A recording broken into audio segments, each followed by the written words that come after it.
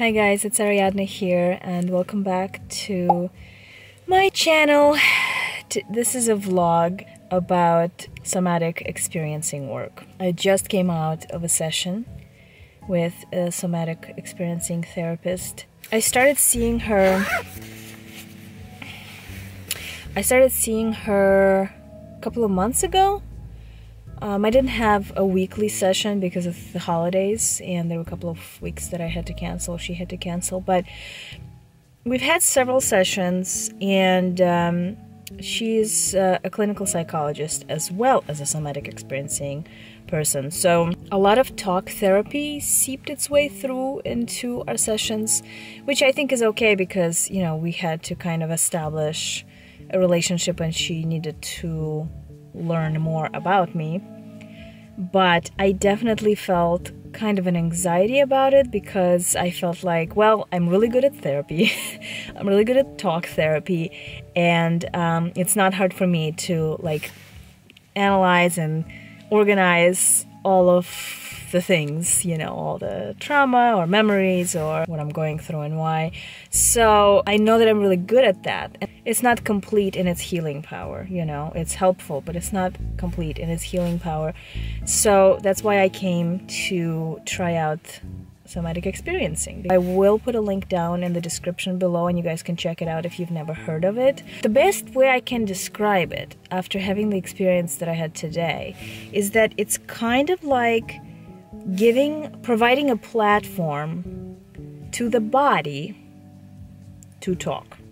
So instead of letting just your brain run its course and analyze and use logic and, and even like even tapping into your feelings maybe and emotions, you're just providing the platform for the body to express itself.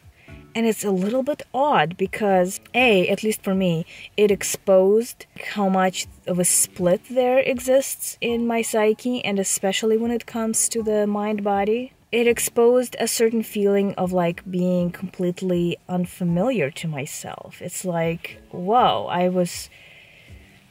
I mean, it's like my body came into full picture, and it's almost like I was meeting it for the first time and experiencing for the first time. It was just a very, very different space of relating to my body and relating my mind to my body. And I kept kind of going in and out of feeling like, well, this is this is Aryadna, right? This is me. To going like, whoa, that's my body and that's Aryadna, and kind of like in and out between the split. Just having that glimpse of an experience today made me think everybody freaking needs to experience something along these lines, you know, because and and it takes meditation to a whole new level for me. You know, I started meditating recently, and um, for me, it's all about being with myself, right? Just being. And being with my body and being with my mind and just allowing things to unfold. And somatic experiencing is kind of like learning the language of the body a little bit to to allow it to talk and to allow to learn how to listen to it you know so speak the language of the body so you can listen and understand it you i think it just it feels like this whole new window is opened honestly because i can sit there and, and, and I thought that I was aware of my body, but if I am honest about it, it's all about the mind running its course. And I think that we do tend to generally focus on the mind when meditating because it becomes all about quieting the mind, you know, and or focusing the mind or whatever, or shifting the mind because the mind feels like our best friend and our worst friend all at the same time. But the body is kind of left on the back burner, it seems like. And for the first time, it felt like I provided the body with the opportunity to tell me what's going on.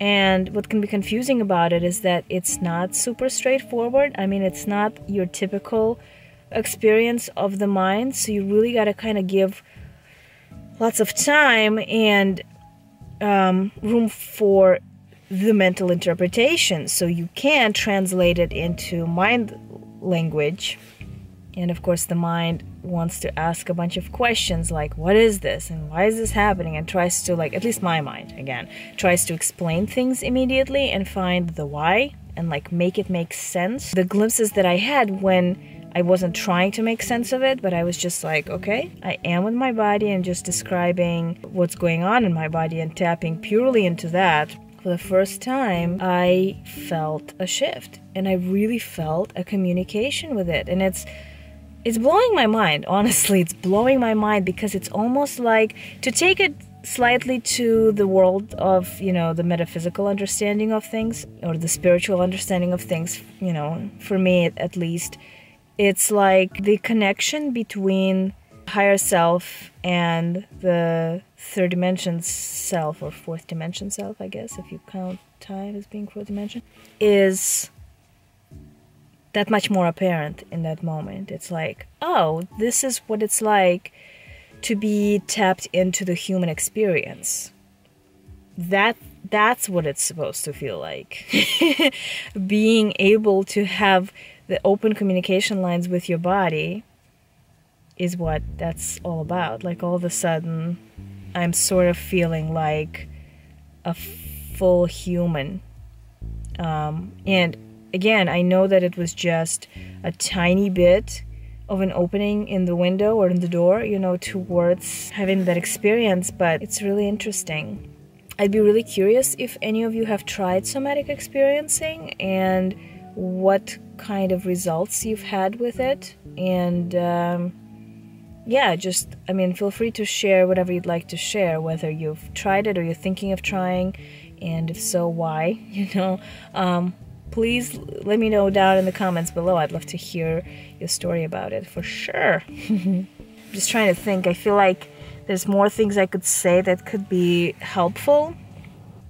Well, for one thing, this is like almost a little creepy to me again.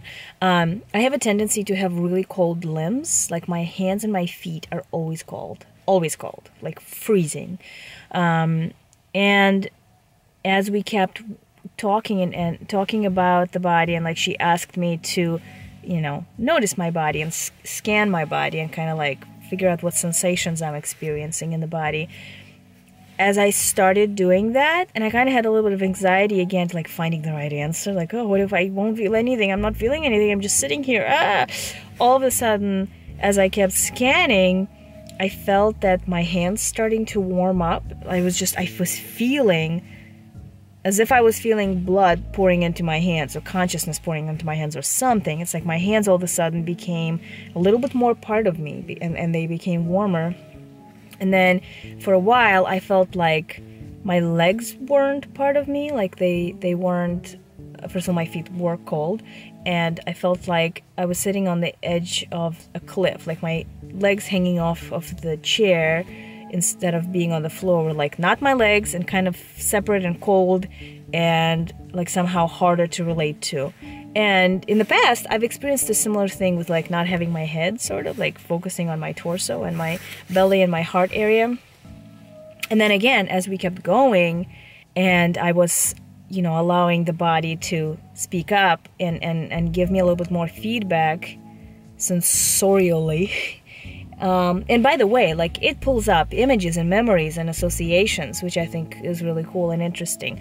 But by the end of it, it's like I got my legs back too, and I got a little bit of that groundedness, and I could feel my my feet warming up. And I've never experienced something like that before. Like when I was able to warm up my own limbs with consciousness and like feel completely embodied in that way. So that feels pretty huge to me because part of what I think I've struggled with is the way I found to describe it is that my body is invisible and it's floating in space and I feel like all sorts of discomfort of just wanting to like contract and put on a weighted blanket and like feel some sort of a pressure or a boundary so I can like relax up against it, which is I think what like helps cats not to stress like helps animals not to stress is compression and i think humans in a way work the same way hence why like weighted blankets are a thing right if you don't know what a weighted blanket is i'm to put a link down below to that as well so you can check it out um, But yeah, so there you go. Just those those might seem like maybe weird or like unimportant, but pretty profound. It felt like a really profound experience to me. So, um, this is my first vlog on somatic experiencing. Let me know if you want more videos like this. I probably will share them anyway if I feel like I have something to say. but if uh, if you guys like this type of video, you know, do give it a thumbs up or let me know in the comments. I love hearing from you no matter what the video is about. And um, yeah, I'll catch you later.